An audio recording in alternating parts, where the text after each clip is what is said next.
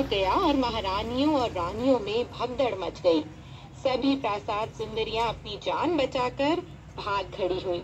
चलिए दोस्तों, कहानी को आगे बढ़ाते हैं और सुनते हैं कहानी में आगे क्या हुआ। सांचांग ने झटपट अपने कांपते हाथ राजा के कंधे पर रखते हुए कहा राजकुमार श्रेष्ठ, घबराइए मत।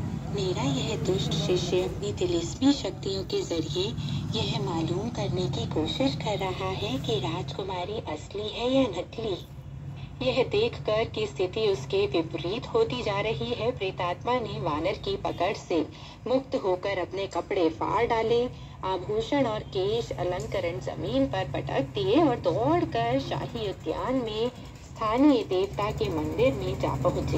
वहाँ से वह घन के सिर के आकार की एक छोटी सी गदा उठा लाई और तेज़ी से वानर की तरफ़ मुड़कर गदा से उस पर ताबड़तोड़ वार करने लगी।